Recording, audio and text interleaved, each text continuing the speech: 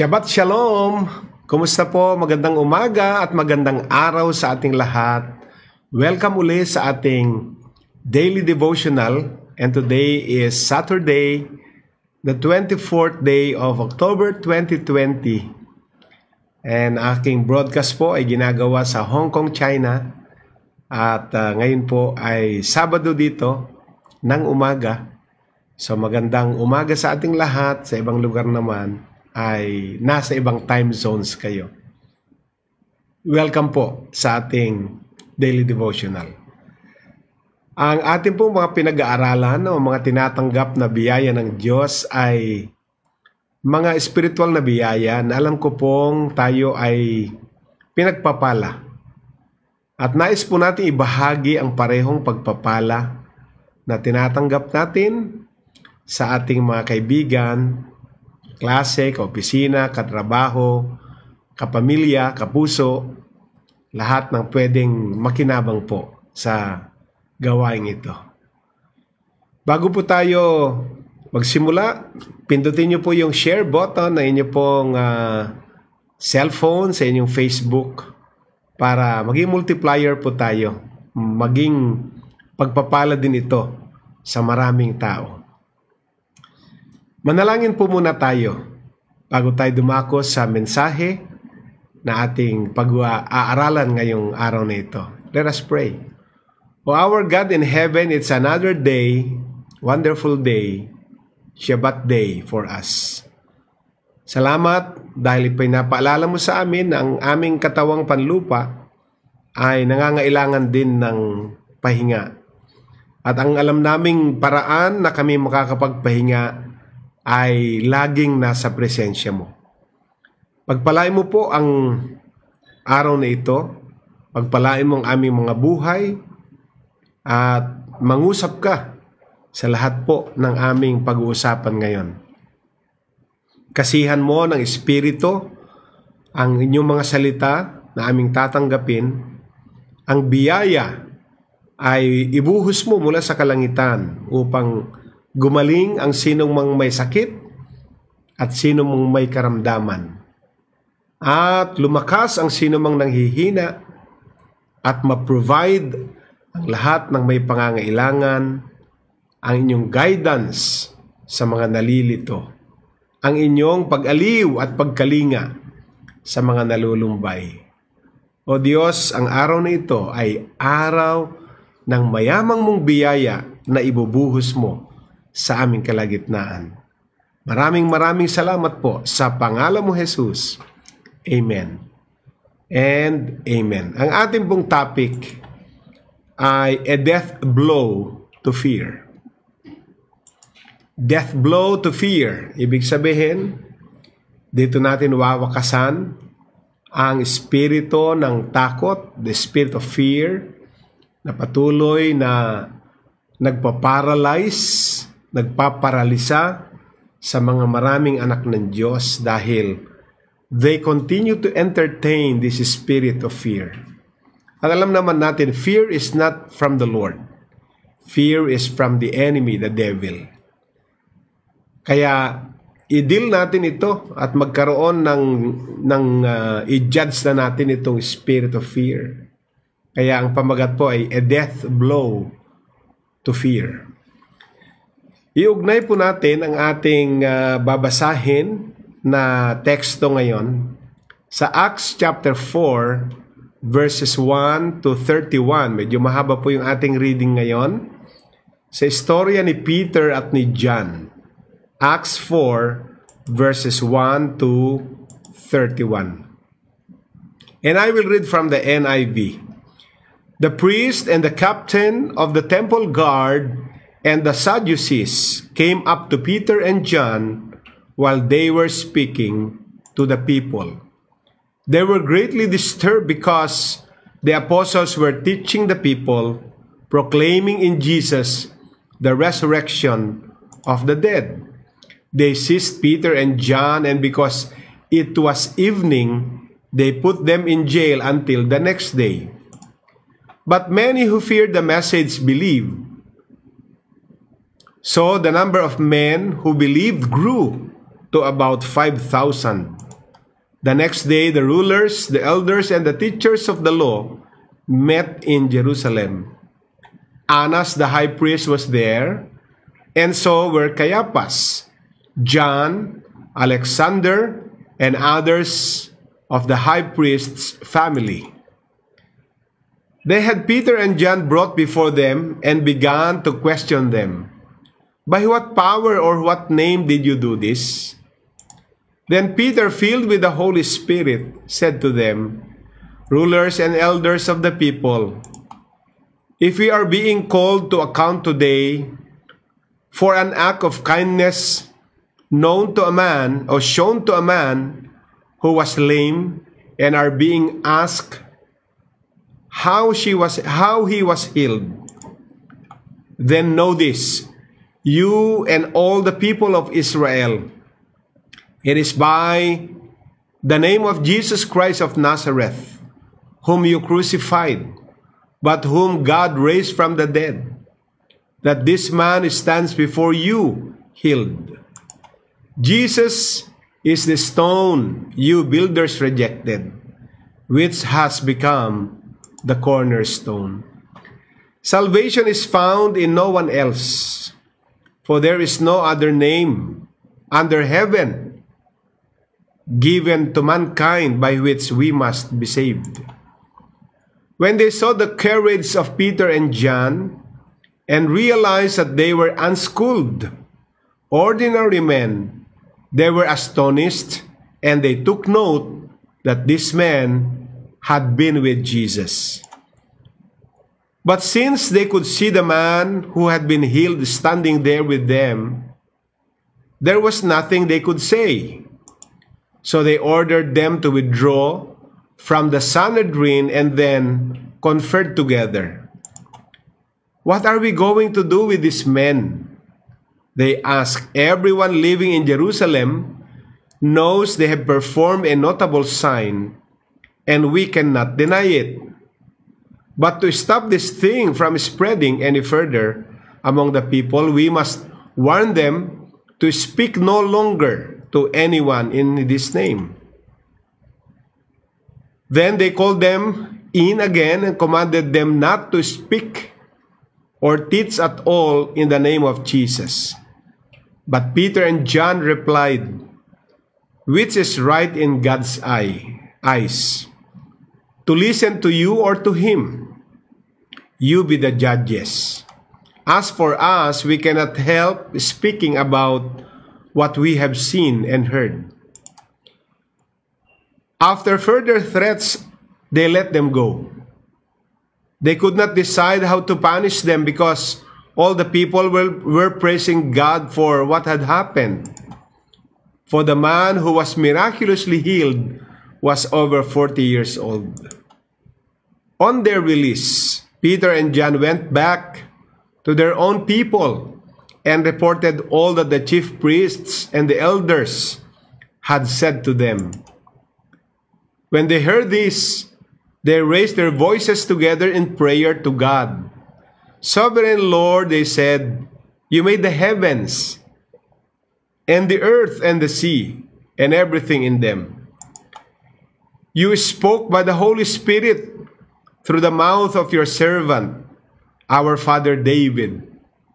Why do the nations rage and the peoples plot in vain?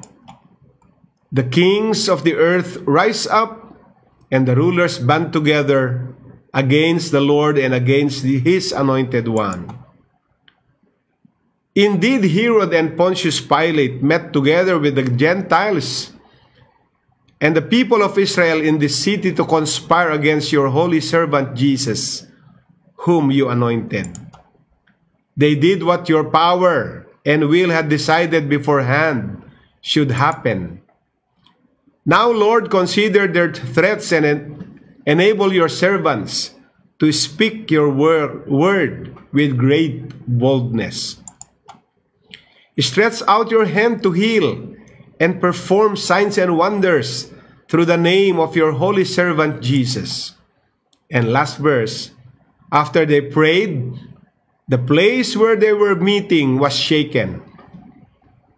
And they were all filled with the Holy Spirit and spoke the word of God boldly. End of reading.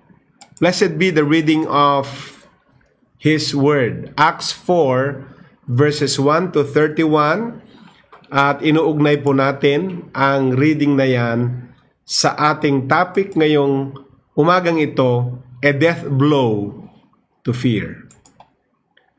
Ang ating pong pinag-aralan ay kwento ni Peter and John nung sila ay sa anointing ng Holy Spirit na nasa kanila ay nakapag-perform ng miracle.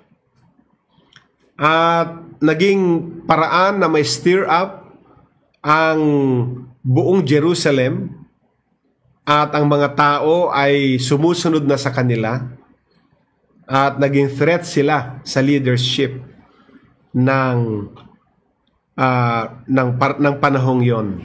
Kaya sila ay inaresto, hinarap, iniharap at nilitis pero dahil takot sila na meron ng liman libong followers si Peter and John sa eksenang yon at yung pinagaling ng Panginoon ang katibayan na ang kanilang mensahe ay hindi mensahe ng panlilin lang kaya wala silang pwedeng iakusa sa kanila.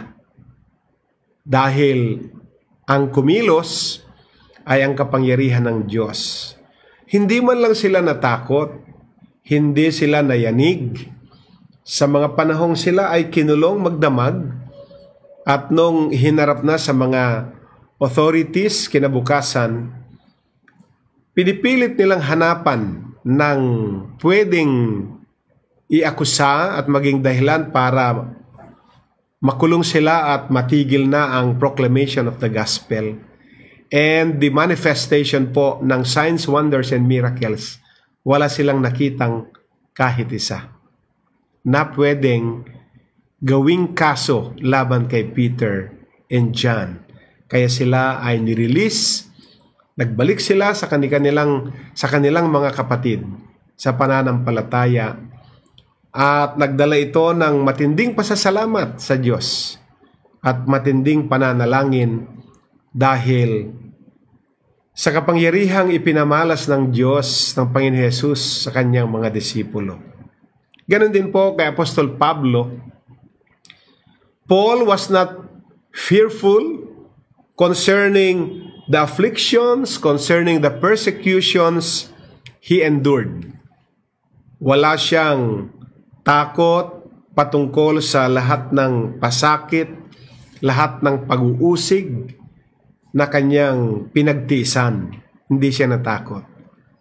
So itong mga pinag-aaralan natin, Peter, John at ngayon si Apostol Pablo naman, ay mga ehemplo, halimbawa ng mga anak ng Diyos na kailangan hindi dapat nangingibabaw ang takot sa anumang sitwasyon.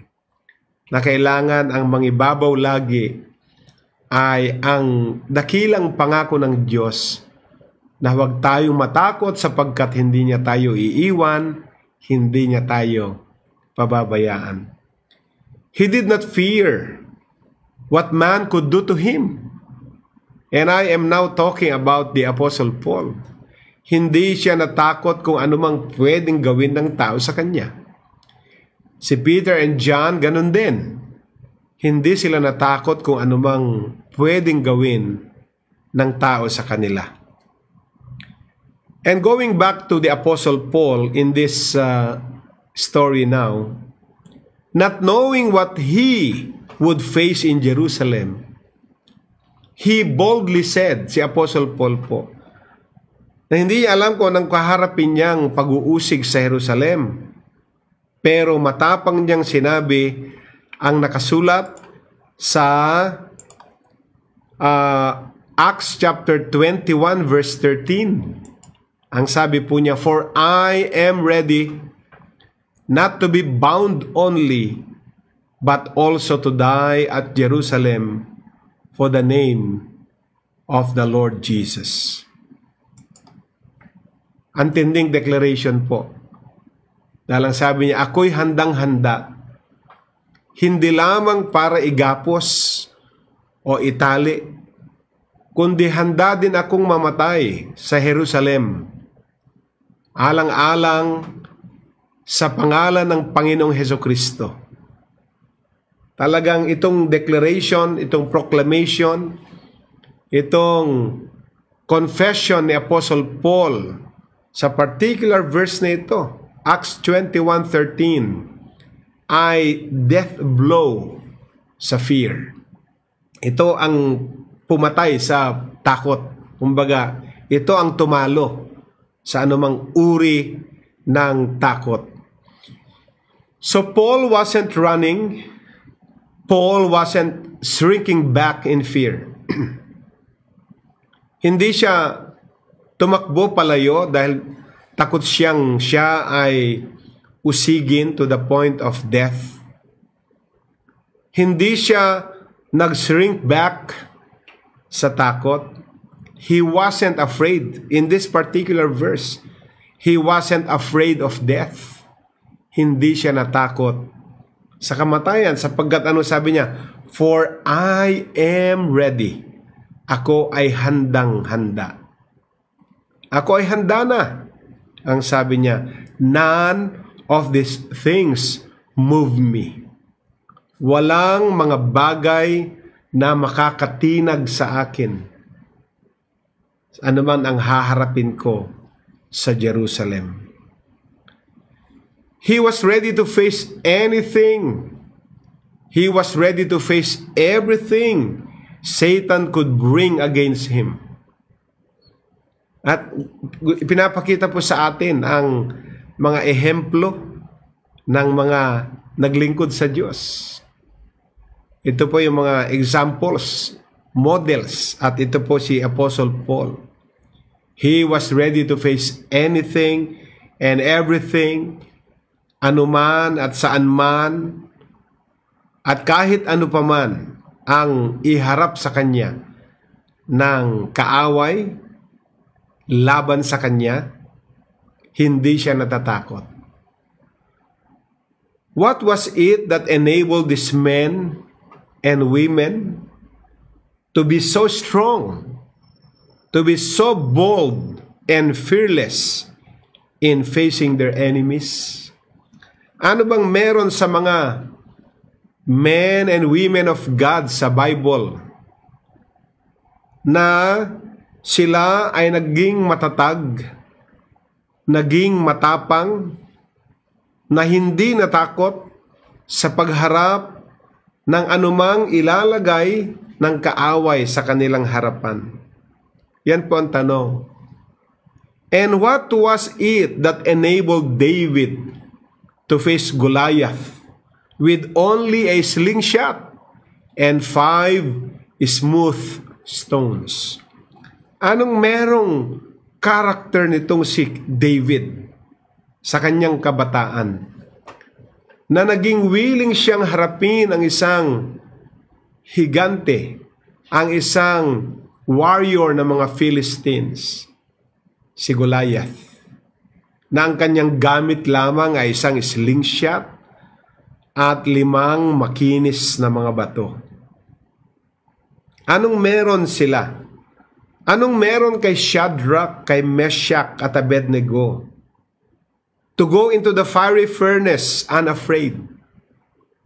Yung kanilang statement na hindi kami sasamba sa gintong rebultong inyong ipinagawa, Haring Nebukadnesar. At dahil kahit ang parusa pa ay pagtapon sa amin sa pugon, hindi kami natatakot, sapagkat alam namin na ililigtas kami ng Diyos ng Israel, ng aming Diyos. Ngunit kung hindi man kami iligtas ng aming Diyos, hindi pa rin kami sasamba sa gintong rebulto na iyong pinagawa. Anong meron sila? Anong, anong common sa kanila? Si David sa binasa natin, Peter, John, si Apostle Paul, David, Meshach, Shadrach, Abednego.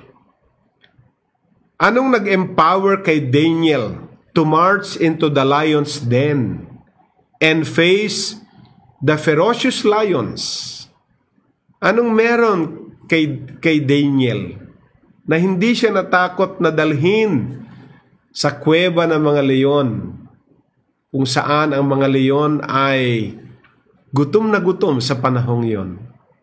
At siya ay naroon na walang takot sapagkat alam niyang kasama niyang Diyos ng Israel.